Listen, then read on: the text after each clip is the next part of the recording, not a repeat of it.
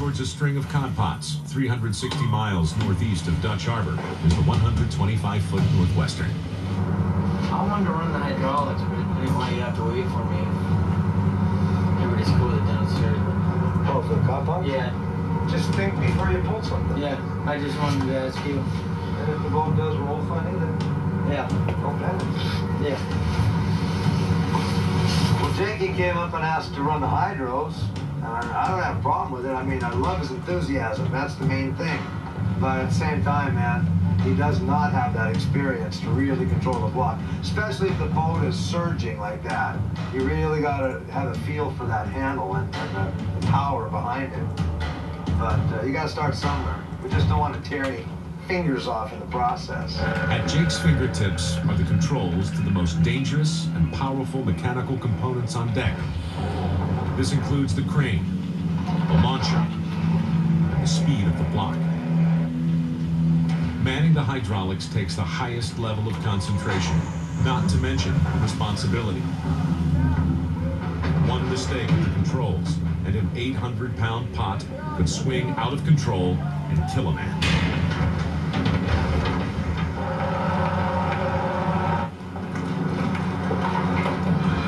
Jake's first time on hydros. Is the last job Jake must master before calling himself a full share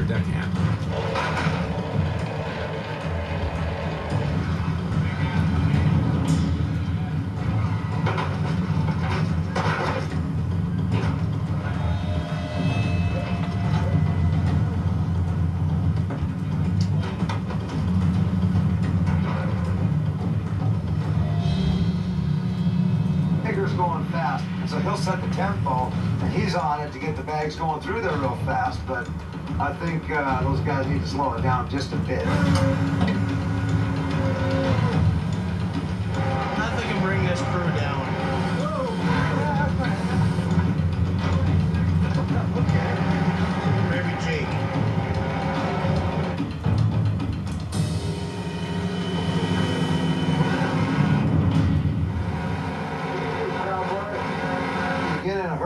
Just hit the wrong handle. He doesn't know his limitations. Because you know when you screw it up, when you lifted it up too fast or too slow. There's that. Easy. I'm just trying to pay close attention because if I do something stupid now, there's going to be no chance of me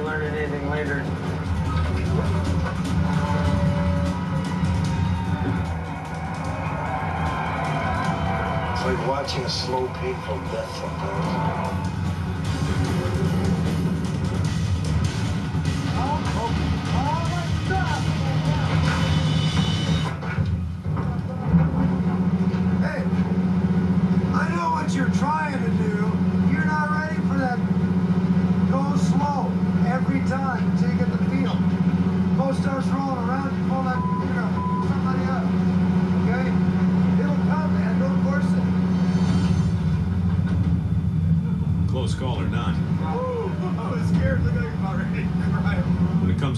Discipline, Edgar prefers the reins.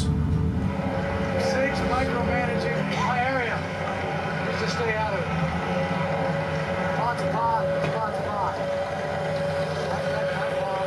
His wheelhouse, his jockstick. His numbers. My steel. That's the separation zone.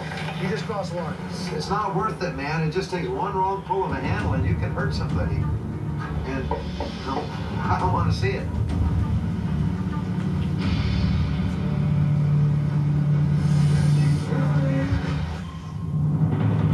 Three hundred miles to the southwest is the tiny 78-foot Lisa Marie. Captain Wade has run into the southern edge of the squall. Uh, yeah, right now we're getting our asses kicked. We're still gonna catch our crab we got coming, so.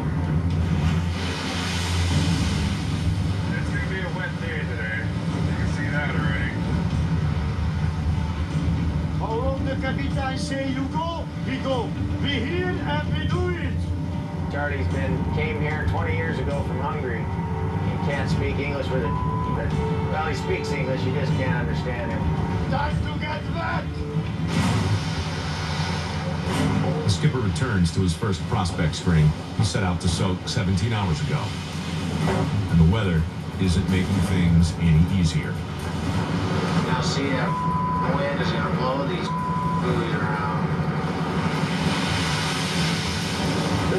perfect weather to haul gear. I'm ready to haul this next string. Hopefully it's full of keepers. Uh, hopefully we get some, get some crab, 24 hours soak, we'll get 24 hours soak. Very soon, nine hours.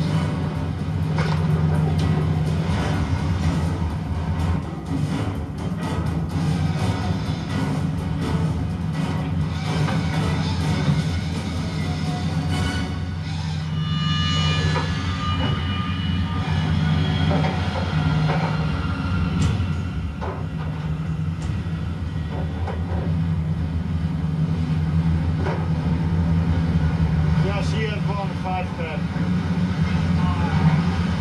no crab coming up in these logs. This ain't no good.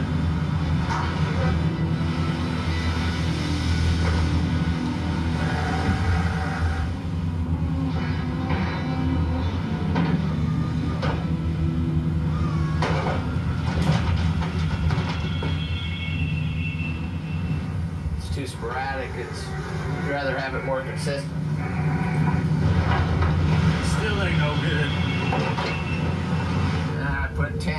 Think there's one more in there, but 12, one, two. Yeah, ain't much crab in this string. 40 pots, 50 keepers, and a little extra bait.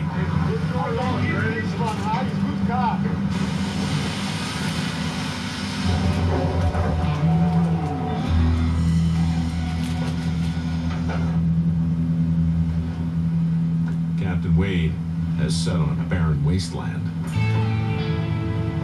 I think. All bait was all card was eat, and crab in the box,